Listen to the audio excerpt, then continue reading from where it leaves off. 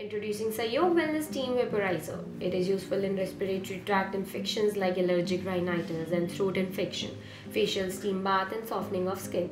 To get started, put water into the main unit. Always put tap water. Don't use mineral water or RO water. Switch the power on. You can start taking steam keeping a distance of 10 to 15 cm from the steam jets and breathe normally. This will add moisture to your skin, brings glow to your skin and also gives relief to your nose and throat.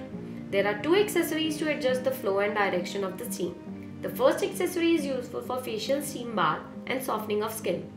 You can also use balm, cream for cold relief in this part of the steamer. For nasal steaming, the second accessory is useful for sending steam direct to your nose. Sahyog Wellness Steam Vaporizer is useful in dryness in throat and airways, cough and cold, irritation in eyes, dryness of skin, blocked pores of the skin, also brings glow to your skin.